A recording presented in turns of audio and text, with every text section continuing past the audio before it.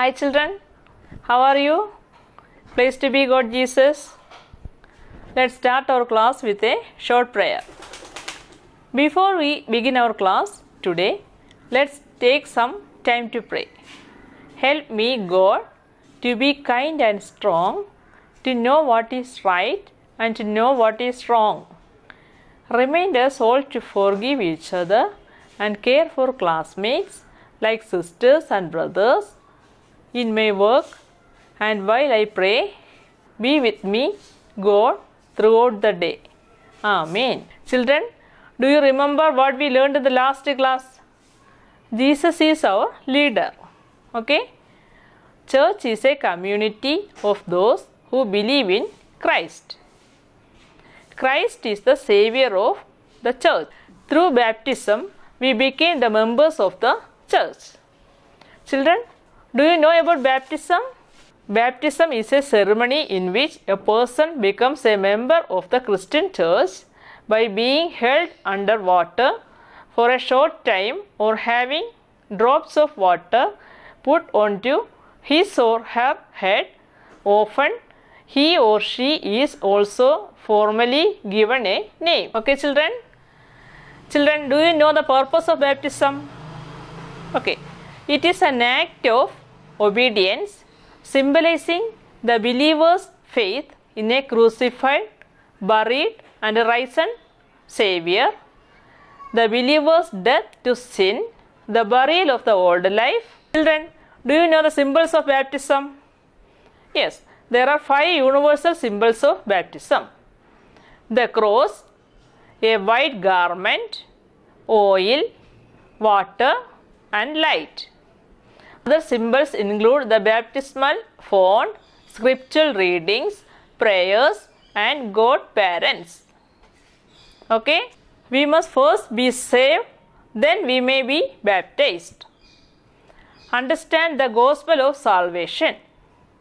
Accept Jesus as Lord and Savior. Ask a saved pastor to baptize you. Full immersion under water. Baptized in the name of the Father, Son, and Holy Spirit. Arise out of the water and get yourself dried up. Okay, children, let's do some activities. Activity 1 What is the face of the church? Second, how did we become members of the church? Third one, what is the aim of the journey of the church? One, what is the responsibility of the children of church? Activity 2. Mark right or wrong.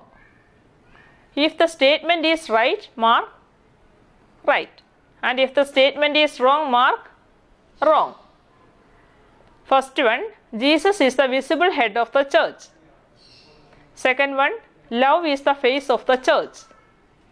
Third one, through baptism, we became members of the church.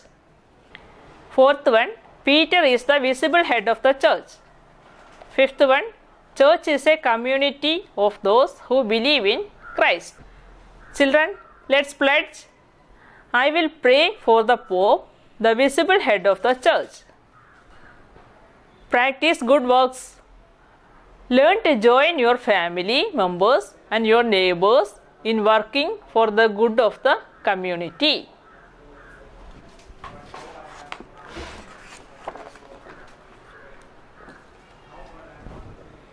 Okay, children, let's watch a story.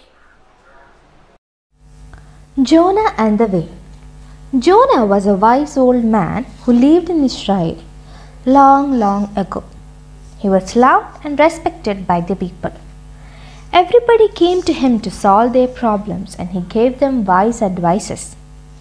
God loved him because he was a good man and he helped his fellow beings.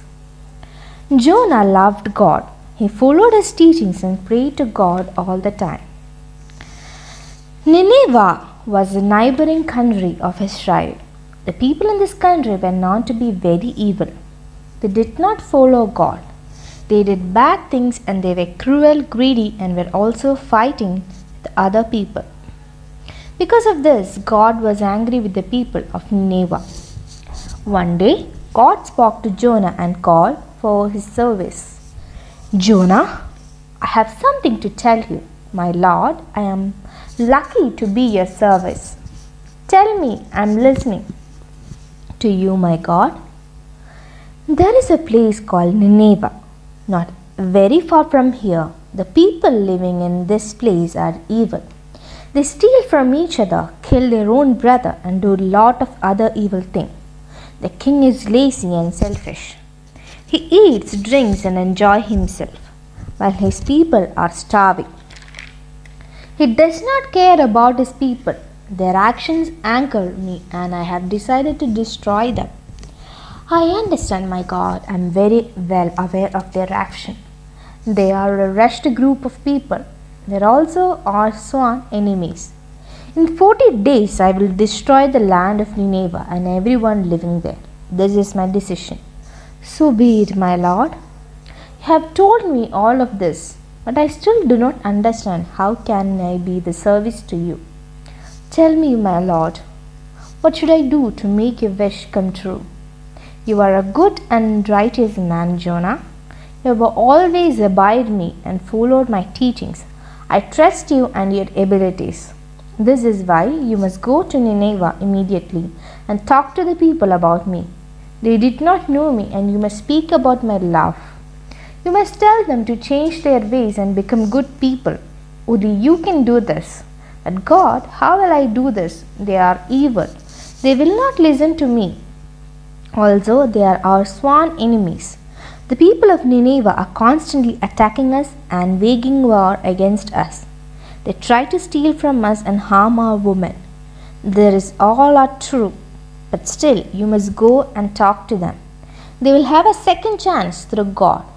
If they fail, they will destroy. You are their only hope for survival now. Only you can convince them to change their way and turn to me the one and only living God. I have complete faith in you.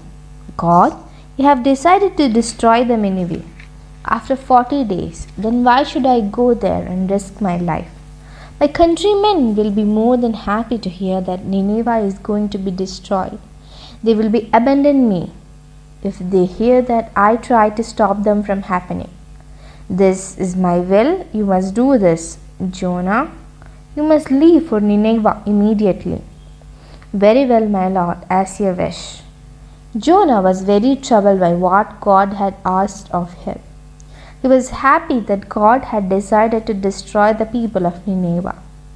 They were the enemies of Israel, and he did not believe that he could change their way. But then, how could he destroy God? Jonah finally decided that he would not go to Nineveh. He got scared and decided to escape from Nineveh and hide from God. Jonah traveled far from Nineveh over the desert and barren lands. Finally, he reached the seashore where he saw a ship leading to another city across the sea. He asked her, the captain whether he could get on the ship. The captain was not happy at first but finally agreed. The sailors did not know about the one true God that Jonah served and believed in. They worshipped stone and the wooden idols. They had a god for the sun, another god for the moon, another for the ocean, and this so on. Jonah saw this, but he did not speak anything. He went and slept in the lower part of the ship. Jonah was fast asleep. In the lower part of the ship, once the ship had traveled a short distance, ship got caught in a great storm. They were tossed around the water like a paper boat. Everybody on the ship was very scared and began to cry out loud to their God. The men on the ship were surprised to see Jonah sleeping peacefully while a great storm was raging outside. Hey Jonah, wake up! How can you sleep like this? There is a storm outside and the ship is going to be torn apart. Wake up and pray to your God. We have been praying to our gods for some time now, but the storm is continuing to the rock the boat. No, this is the work of my God, the one and only true God, who made the whole world. Did you do anything to make him angry? How can we stop this storm? I tried to hide away from him. He gave me a task but I refuse to do it. This is why he is angry at me. Now, what should we do? There is nothing else to do. You have no other option but to throw me off the ship, and then the storm will go away. My God will leave you alone. No, we cannot do that. You are a good man. We didn't want to harm you. Let us try to throw some some of the cargo out of the sea if we can keep the ship afloat. The sailors started throwing out the packages loaded on the ship, one by one, but the storm did not go away. There is no use doing in this. Throw me into the water, save yourself. I hope your God keeps you safe. When the sailors realized that they had no other option, they threw Jonah off to the ship in the sea. And like a miracle, the storm subsided. The sea was calm, and all of a sudden, just at that moment, a big whale came upon and swallowed Jonah. Jonah was scared like never before.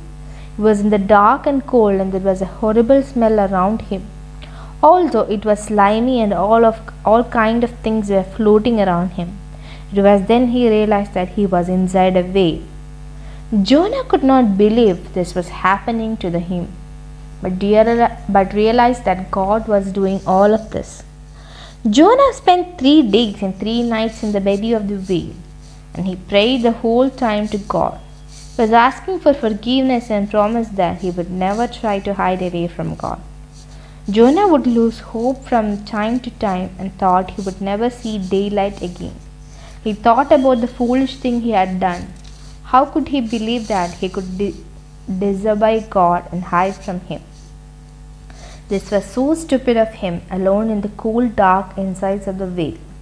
Jonah became very sad, but he called out to God and it gave him strength.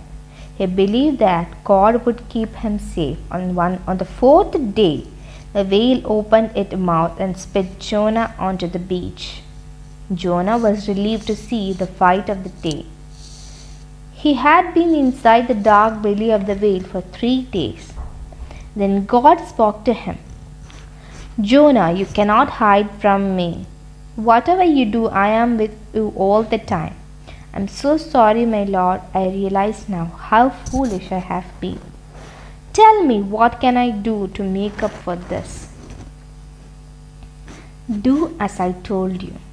You must go to Nineveh and complete the task I have gave you. They are well because they do not know me. They have not heard of my teaching. They deserve a chance to change their way and become good. I will do whatever you ask me, my Lord. Shall go and speak to the people of Nineveh about your undying love.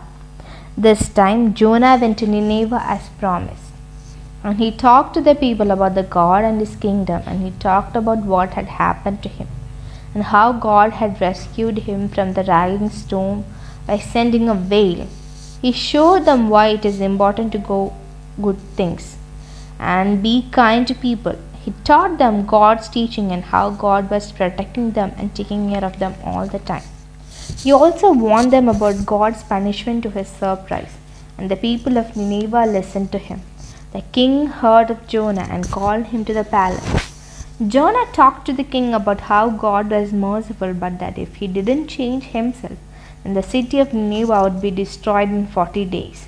The king asked for the forgiveness for all the bad and horrible things and he had done and promised that he would pray to the God, one and only true God, from now on. He also announced throughout the land that everybody should pray to the Almighty God that Jonah served. Jonah spent many days with the people of Nineveh. God saw that indeed the people of Nineveh had changed, so God decided not to punish the city of Nineveh. Later, Jonah realized that the work was finished and he started on his journey back to Israel. However, he was still hoping that Nineveh would have been destroyed as he did not completely believe that the people could actually become good. So, when God decided not to destroy the city, Jonah was not happy. God realized what was thinking and spoke to Jonah. Jonah, why are you unhappy? You had said that you would destroy the land of Nineveh. These people are enemies of Israel. Why didn't you destroy them? Jonah, you don't understand the good you have done. These people are no longer your enemies. They believe in true God just like you do. I believe that everybody needs a second chance to correct their mistakes. I do not want to punish my people. I love them. I created them. So if they make use of the opportunity to become good, then why should I destroy them? All of this has been possible through your work, Jonah. Go home now and return to peace. You have completed God's work. Very well, my God. I understood now. Thank you for this chance to serve you, my Lord. Thank you for surviving me and saving me so many times. Jonah then made the journey back to the Israel and continued to speak about God and the love for his people. He told everybody about the story of how he was trapped inside a whale for three days and how he and how God saved him. The people loved and respected him, and the old prophet lived for a very long time. Children, now let's wind up our class with a prayer. In the name of the Father, and of the Son, and of the Holy Spirit. Amen. God bless you.